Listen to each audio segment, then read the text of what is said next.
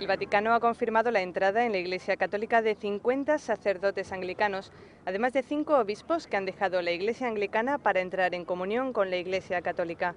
Está previsto que a estos cinco obispos y 50 sacerdotes les sigan cientos de fieles anglicanos cuando se establezcan definitivamente los ordinariatos a principios de 2011.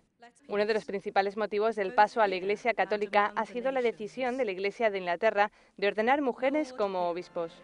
La mayoría de los anglicanos están a la espera de ver si verdaderamente se aprobará la legislación que permite la consagración como obispos a mujeres, prevista para el año 2012.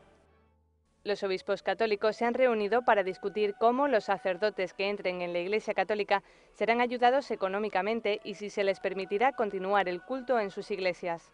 Después de reunirse con el Papa en el Vaticano a mediados de noviembre, el arzobispo Rowan Williams, primado de la Iglesia de Inglaterra, dijo que estas dimisiones le producen un profundo pesar, pero también un profundo respeto, y destacó el desafío que supondrá la búsqueda de una solución al uso compartido de los templos.